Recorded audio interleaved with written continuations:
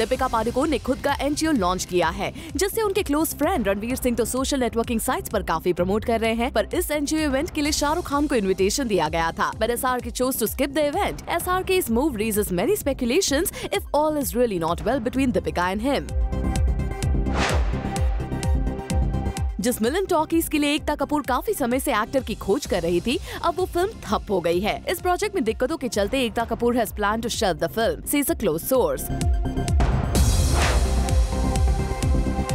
Maharashtra के CM Devendra Fadnavis Deepika Padukone को देना चाहते हैं एक टास्क और वो ये है कि the actress has to engage in conversation with the farmers so that they come out with their problems to her let's see if Deepika takes up this task